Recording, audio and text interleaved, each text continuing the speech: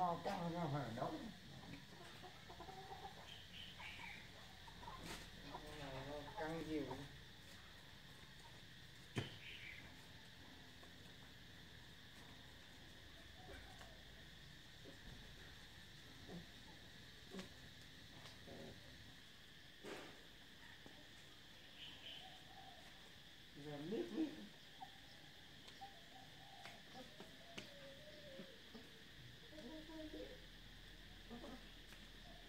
cái cái ờ, cái cái ờ, giò hạc lào này năm năm ngoái hình như là có hai chi nó dài cái này cắt đi chi sao hả?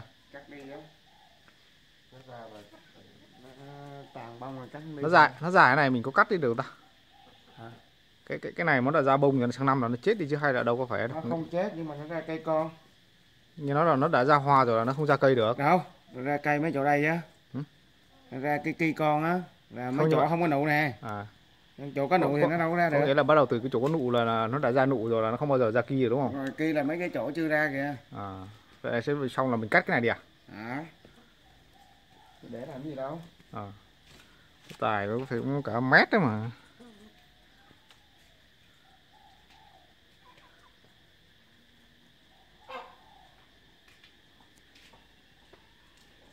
Dài khiếp luôn cái, cái này cái này um, vài hôm nữa nở không? À, tuần nữa hả?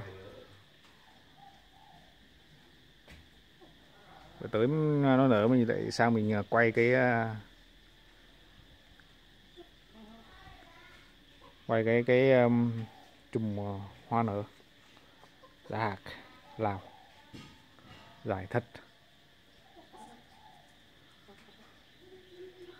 một chi thôi nhưng mà phải nói đã. Chi này thì chỗ rồi chỗ bông rồi.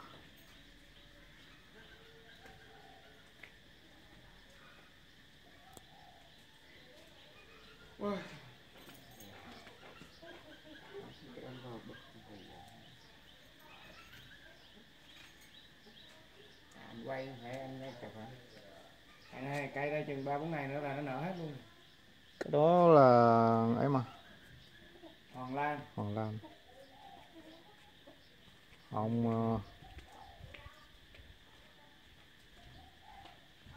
cái này một, tầm một tuần nó mới nở ha.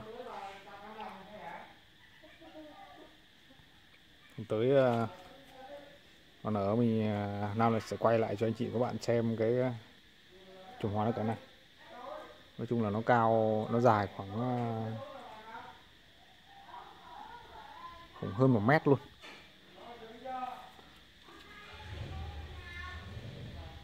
Dài khủng luôn chứ mà một chi thôi. Nó tầm khoảng à, đếm thử à, đếm thử xem là có bao nhiêu nhiều cái bông ha. 1 2 3 4 5 6 7 8 9 10 11 12 13 14 15 16 17 18 19 20 21 22 23 24 25 26 27 28 29 30 31 32 33 34 35 36 37 38 39 40 cái bông.